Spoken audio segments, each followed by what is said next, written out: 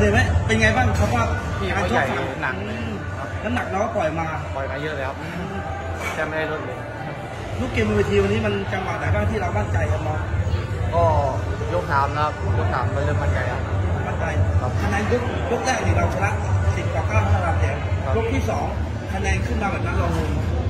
เราเราตกใจไหมไม่ได้สนใจดูแล้วไม่ไม่ชกอย่างเดียวชกอย่างเดียวใช่ไหมครับถือว่าชกได้มันมากครับพี่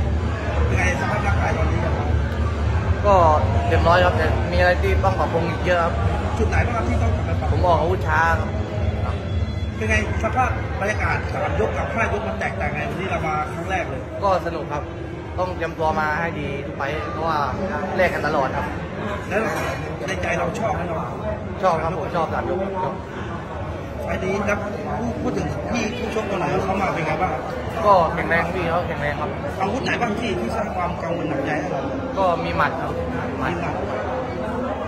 แต่ว่าพอปล่อยตัวลูกที่สามมาเราเดินแทงเข่าแทงเข่าก็ถือว่าเราเรามั่นตรงนั้นเรามั่นใจเลยไหมน้องมั่นใจแล้วครับ พี่เขาหมดให้เห็นไหมก็ปลายยกสามก็เริ่มกดเป็นไงโดยรวมพอใจผลงานตัวเองมากน้อยแค่ไหนครับก็พอใจครับโอ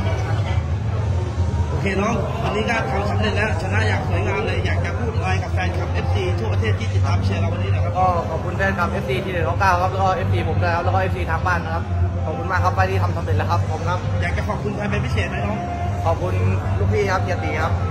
แล้วก็ครอบครัวครับแล้วก็พี่พี่ FC ทุกคนครับจานเหมแล้วก็